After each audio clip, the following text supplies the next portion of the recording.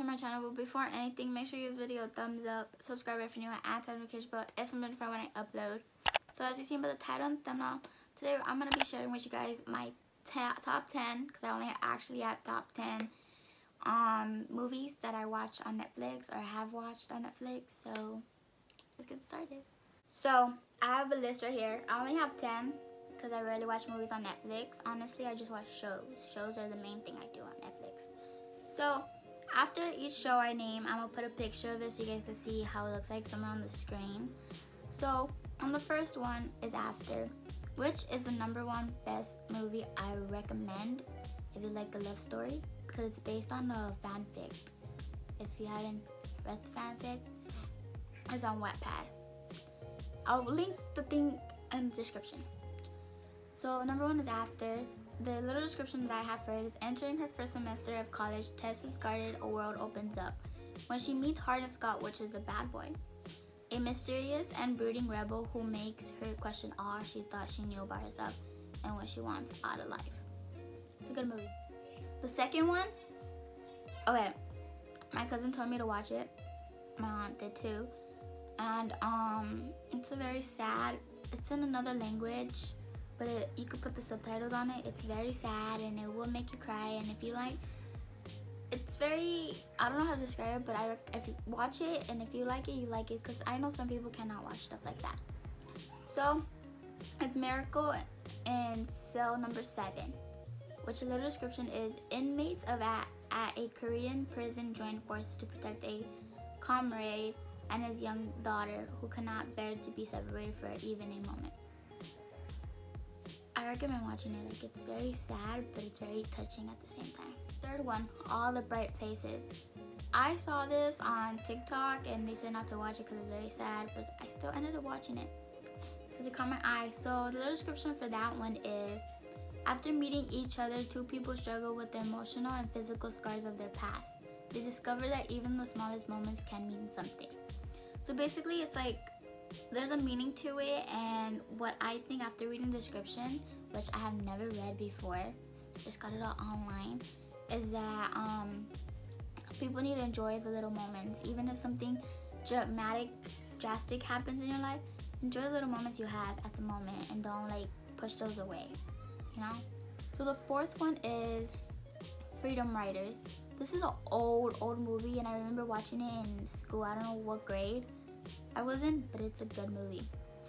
A dedicated teacher, Hilary Swank, in a racially divided Los Angeles school has a class at risk of at-risk teenagers deemed incapable of learning. Instead of giving up, she inspires her students to take an interest in their education and planning their future. So basically, it's a school in Los Angeles, and most of the movies and series that I watch are basically based in Los Angeles and California area. And basically, in that school, there's like the Mexicans, the black people, the white people, the Asian people, like different like heritage, you know, not heritage, but like different um ethnicities, you could say. It's very interesting and I recommend watching it. Number five, Outbreak. Outbreak is like same as pandemic, but like um I haven't watched it, but like after reading the reviews and everything and watching like a preview of it, I recommend watching it if you want to know more about the infectious disease we have in the world. When an infectious disease enters a small town via a monkey, a team of doctors races against the clock to stop the spread and find an antidote.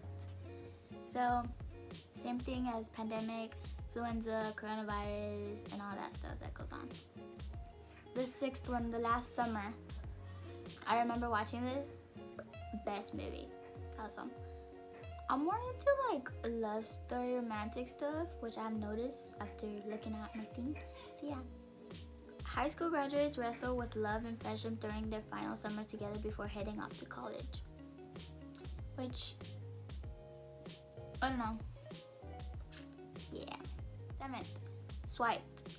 This is very interesting. A popular college kid asks for help from his nerd friend to develop a flirting app, and their brilliant idea to make money and make a profit by meeting new girls is a success. Dating apps. I mean, I thought it was interesting because, like, wow, someone knows so much about coding and stuff like that, and then making money off of it, not a bad thing.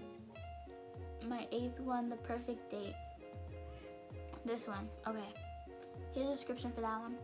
A high school student creates an app to offer his services as a fake date to make money for college. When he develops feelings for someone, his plan gets complicated. Feelings get in the way of things, and it sucks. Ninth one, Miss Americana Taylor Swift. To be straight out, I didn't really like Taylor Swift at first because I thought she was like, let's say annoying. I'm not trying to be mean or anything, but like I didn't really have like she didn't get my eye a lot. Her music is good, very good, but like I don't know. After a while, like I guess she wanted to be like, and this movie talks about it too.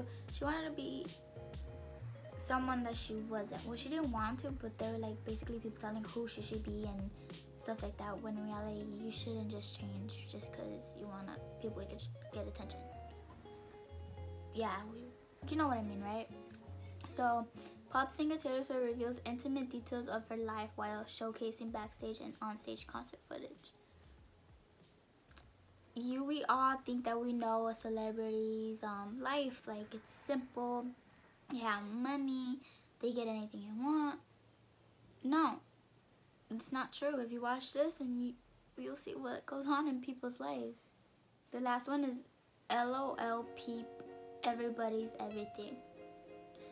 Oh, I, I Little Peep.